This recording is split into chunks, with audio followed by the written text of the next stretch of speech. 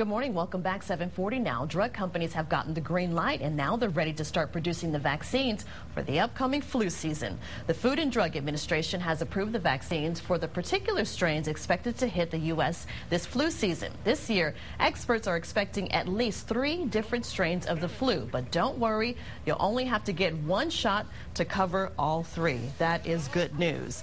Joining us this morning is Dr. John Villacis with the Austin Diagnostic Clinic. Thank you so much for being here. Thanks again for the invitation. Sure. Well, you're here to talk a little bit about what we just talked about, flu vaccines and what people can do to prepare, right? Right. Well, we're going to be doing, uh, this from, from an allergy perspective, uh, you know, flu vaccines are very important uh, for the management of, of um, the, uh, you know, every year millions of people have are exposed to the flu vaccine uh, and there's many deaths associated with them. It's not too early to start talking about this because now is the time to, for us to start uh, thinking about those uh, those things during during the upcoming flu season.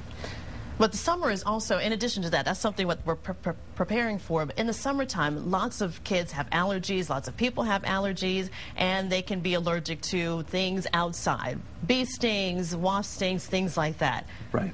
Yeah, we can talk about that as well. I think that, that from a fire ant perspective, uh, we, we have uh, one of the biggest things that we're seeing right now is uh, uh patients coming in with fire ant uh, allergies. Uh, over this past summer, I've seen at least four or five people have, that have significant allergic reaction to the fire ants. And so summertime, even though the pollens are not very high right now, we're seeing a lot of other things that can, can affect our, allergies. Is that a new yeah. thing, getting being allergic to fire ants, or is that something that people have suffered with for many, many years? Right, not uh, not at all. I mean, uh, the fire ants are something that's not native to Texas, actually not native to the U.S. Uh, overall, we in about the last 70, 80 years or so, we had the introduction of fire ants into this country, and they've pretty much spread all over the southern U.S. Uh, and they've caused uh, significant problems with not just farming and, and, and damage, but also uh, patients that I see uh, significant uh, allergy to the fire ant stings. And fire ants are pretty aggressive, aren't they? Awfully aggressive. I mean, uh, they are very territorial, and and and, and, it just takes one sting to cause significant reactions. And these reactions are things that, for example, an allergic reaction that we worry about are folks that have, uh, you know, they get stung and within a few minutes start having lip swelling, tongue swelling, throat swelling, coughing, wheezing. Uh, those, uh, you know, those kinds of symptoms. Uh, most people that get stung just have a small local reaction. However, it becomes very dangerous uh, when people start having significant uh, systemic allergic reaction. Sounds like a reaction to peanuts and, and pecans, things like that. Your mouth swells, your your um, inside, you know, the, your esophagus begins to swell, and your inside begins to swell.